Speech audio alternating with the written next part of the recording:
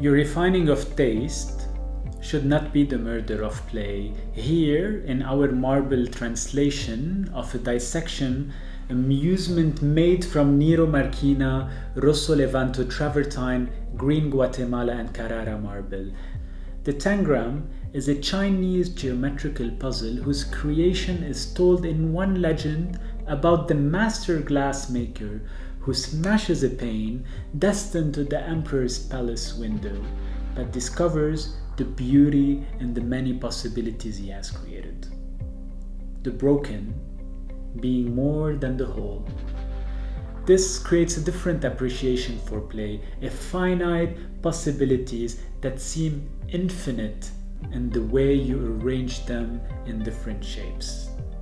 It is a game with sharp points, it is an adult game.